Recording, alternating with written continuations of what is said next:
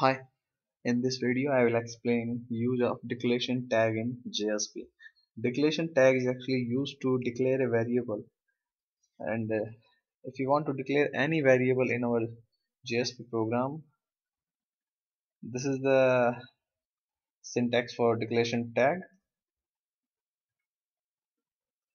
So here if we declare any variable let's say int count equal to 0 so we have declared one variable count of integer data type and we have initialized it with 0 so this declaration tag they actually will declare this uh, variable as a class variable of servlet.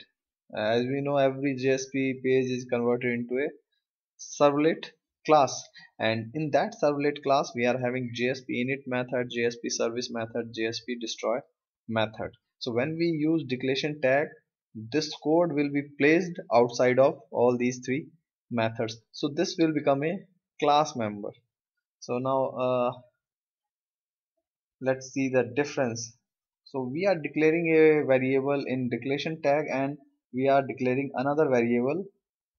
Let's say start in scriptlet tags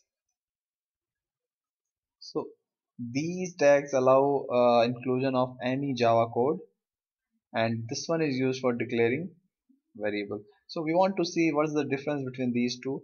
So we will save this program.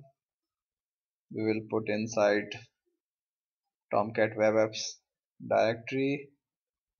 In web app let's say I am placing it inside first application. The name of application is first so let me run it.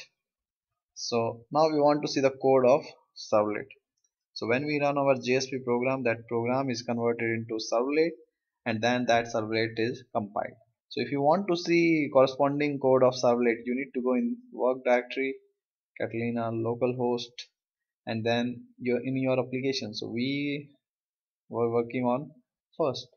Org apache JSP and here so we will open it. So if you can see uh, here we declared this variable with help of declaration tag. So if we declare any variable with help of declaration tag that variable will be declared inside class. So this become a class member. And here we also declared one more variable start. So where is that start variable so that variable we will find in JSP service method. So this is JSP service method and here is our int start.